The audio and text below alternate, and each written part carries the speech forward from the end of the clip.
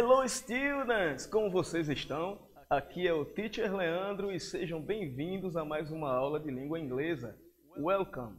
Pessoal, o nosso conteúdo de hoje é um conteúdo muito importante, também é simples e eu tenho certeza que vocês vão gostar porque vocês são muito estudiosos, tá bom? O que é que nós vamos aprender hoje, Teacher Leandro? Vamos aprender o seguinte, Superlative Comparative.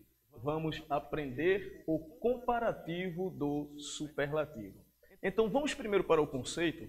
O superlativo ele acontece quando eu comparo uma pessoa com todo um grupo e ele é ou o melhor ou o pior, ok? Então vamos lá. Presta atenção aqui. Eu tenho o strong, tenho o stronger e tenho o strongest.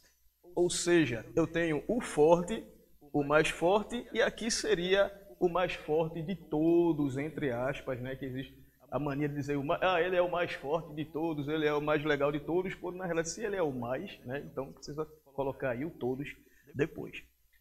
Beleza? Então aqui nós temos a explicação que eu acabei de dar para vocês e vamos aprender a estrutura das frases aí com o superlativo em inglês. Então como é que fica? Nós temos aqui o the most, a expressão the most, que é o mais, e você vai, logo após, colocar o adjetivo. Olha o exemplo aqui no quadro.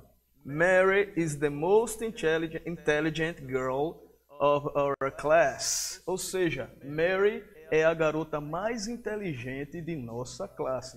Percebam que nós estamos comparando aí Mary com toda a sua classe.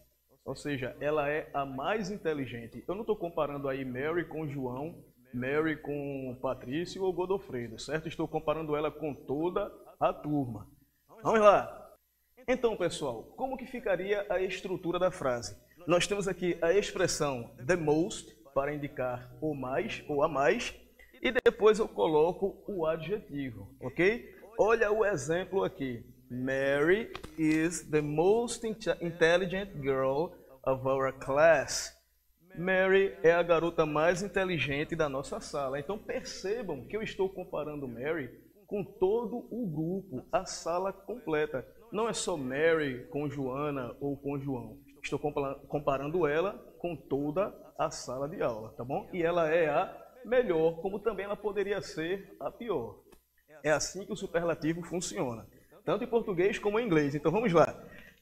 É, Gisele Bündchen is the most beautiful model of the world. Ou seja, Gisele Bündchen é a modelo mais bonita do mundo.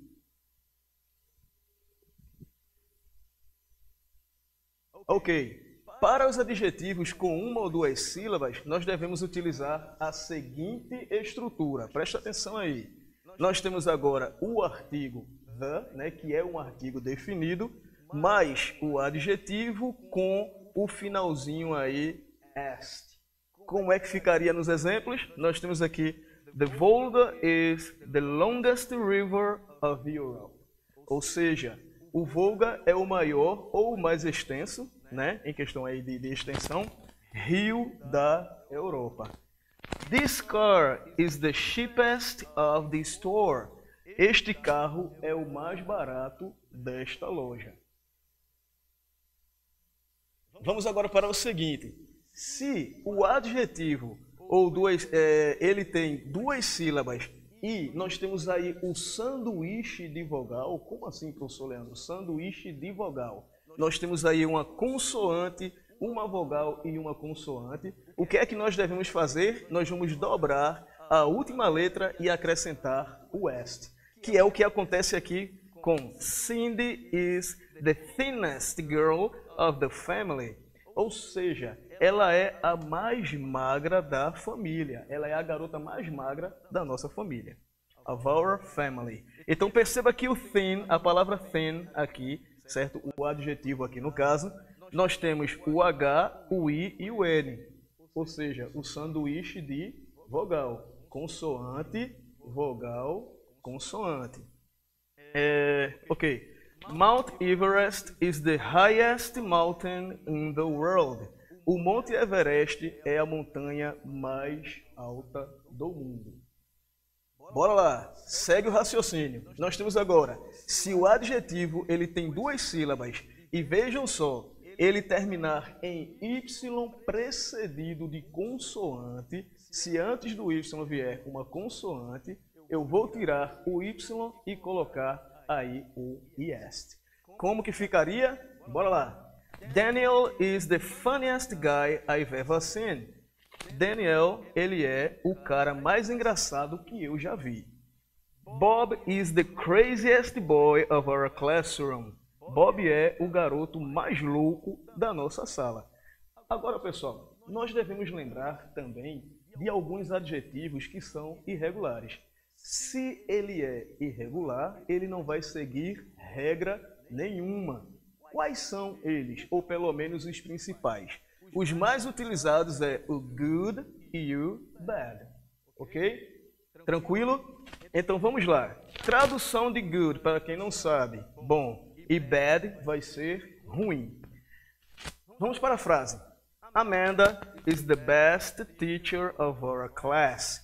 Perceba que para good, certo? Eu utilizei o the best para indicar que Amanda ela é a melhor professora aí da nossa sala. Então, a mesma coisa acontece em português. Eu digo, Amanda é uma boa professora.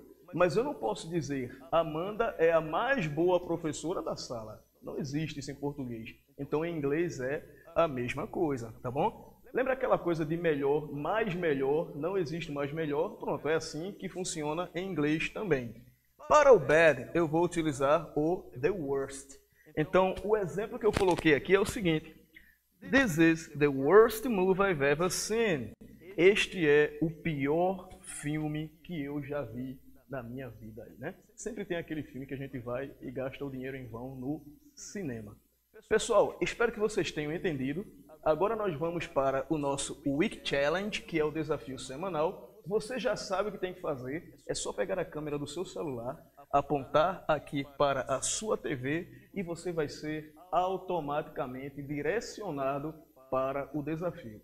Não deixe de fazer o desafio. Por quê? Porque assim que você faz o desafio, o resultado vem para mim. E eu sei que você está assistindo a aula e você está compreendendo o nosso conteúdo. Tenham uma excelente semana. Bye bye, students!